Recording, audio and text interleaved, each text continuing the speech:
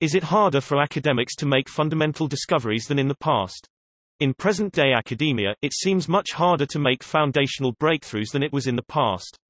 Most work now synthesizes previously discovered results to study something extremely specific. Although this extremely specific thing may be valuable to know, it generally does not have the potential to rewrite the field. For example, in physics, the beginning of the 20th century saw the revolutionary development of general relativity in quantum mechanics. While there is still much to be learned in modern physics research, it is much more difficult for someone to make large, fundamental contributions to the field, simply based on the fact that the large, fundamental contributions were already made. Now, even an extremely productive researcher may only become well known in their immediate subfield. Similar notions can be applied to art and a variety of other academic disciplines, in which it is more difficult for one single artist's work to be foundational to the field. Do academics worry much about the growing insignificance for lack of a better word of their work?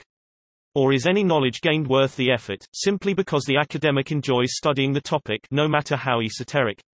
Any sort of discussion about this concept would be enlightening. Actually, exactly the same question might have been asked around 1900 when Henri Poincaré ruled the world.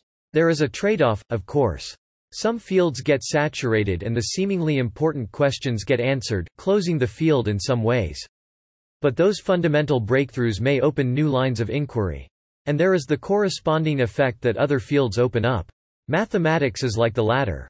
People today think about a lot of mathematical ideas that didn't really exist historically. Whether physics is a fixed field in which everything will eventually be known is, I think, an open and debatable question.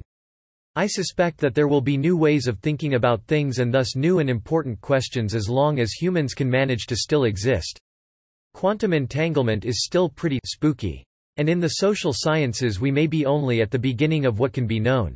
Moreover, each new generation of scientists, in whatever field, starts out at a higher level than their predecessors, and so, have a base on which to reach still higher, with a deeper understanding. Poincaré had problems grokking relativity, as did many of those in his generation. After they started to actually die, relativity came to the fore.